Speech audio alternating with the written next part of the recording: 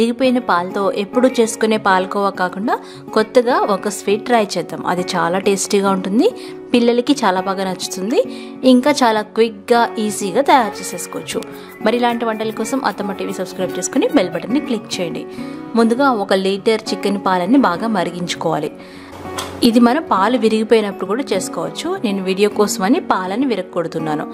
అందులో రెండు టేబుల్ స్పూన్ల నిమ్మరసం కానీ వెనిగర్ కానీ వేసుకొని అవి విరిగిపోయేంత వరకు బాయిల్ చేసుకోవాలన్నమాట. మరిగించుకుంటూ ఉంటే అవి తొందరగా విరిగిపోతాయి.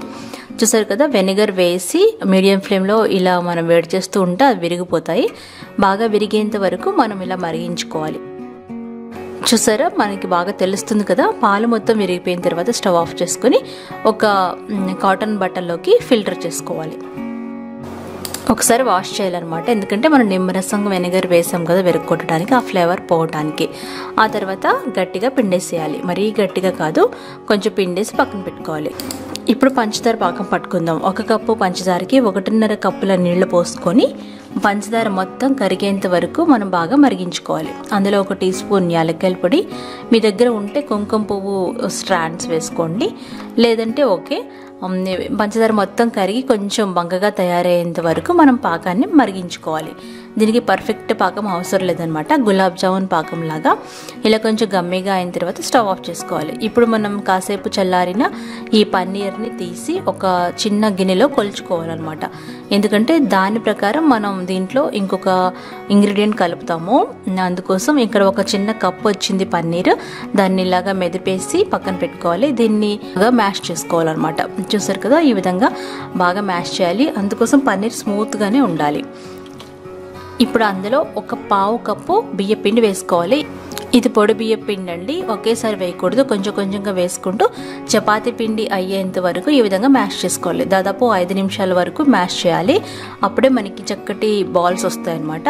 ఒక చిన్న పిండి ముద్దను తీసుకొని రౌండ్గా బాల్ లాగా చుట్టుకొని ఈ విధంగా ఆ ప్లేట్కి కింద అడుగు భాగాన్ని ఇలా కొట్టాలన్నమాట. అప్పుడు ఫ్లాట్గా ఈ బాల్ కూర్చుంటుంది. దాంట్లో చిటికెన్ వేలుని ఈ విధంగా దూర్చాలి. చూసారు కదా? అంటే మనం ఒక ఫ్లవర్ షేప్ కోసం ట్రై చేస్తున్నాం అనమాట ఇలా ట్రై చేసి ఇక్కడ టూత్ పిక్తో ఈ విధంగా ఫ్లవర్ లాగా తయారు చేసుకోవాలి. అంటే రకరకాల షేప్ ఉంటే పిల్లలు బాగా ఇష్టపడతారు కదా దానికోసం చూసారు కదా ఇలా మీకు కావాల్సినవి తయారు చేసుకోవాలి. ఇప్పుడు డీప్ ఫ్రైకి సరిపడా నూనెని బాగా మరిగించి మీడియం ఫ్లేమ్లో పెట్టుకోవాలి. అంటే బాగా కాగిన తర్వాత ఇప్పుడు మనం పక్కన పెట్టుకున్న తయారు చేసి పెట్టుకున్న ఈ పన్నీర్ స్వీట్స్ అన్నీ వేసేసి మీడియం ఫ్లేమ్లో వేయించుకోవాలి.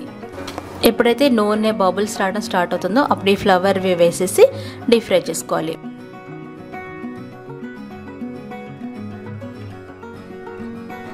మరొక పక్క పొయ్యి మీద చల్లారిన పంచదార పక్కాన్ని మళ్ళీ వేడి చేసుకోవాలి. ఈ మంచి గోల్డెన్ కలర్ వచ్చిన తర్వాత ఆల్రెడీ పక్కన మరుగుతున్న పాకంలో పోసుకోవాలి. అంటే పాకం కొంచెం వేడవ్వాలన్నమాట. చూసారు కదా? రెండు నిమిషాలు కొంచెం వేడి చేసుకొని స్టవ్ ఆఫ్ చేసేసి లోతుగా ఉన్న గిన్నెలోకి తీసుకోవాలి. గంట పాటు అలా మూత పెట్టేసి ఉంచితే ఎంతో చక్కటి జ్యూసీగా ఉన్న స్వీట్ రెడీ అయిపోతుంది. చూసారా? ఈసారి పాలు విరిగిపోతే మీరు ఎప్పుడు చేసే పాలకోవ కాకుండా ఈ స్వీట్ ట్రై చేయండి. మీ పిల్లలకి చాలా బాగా నచ్చుతుంది. కాజుతో కానీ బాదంతో కానీ గార్నిష్ చేసుకోండి. మరికొన్ని వంటల కోసం అత్తమ్మ టీవీని సబ్స్క్రైబ్ చేసుకోండి.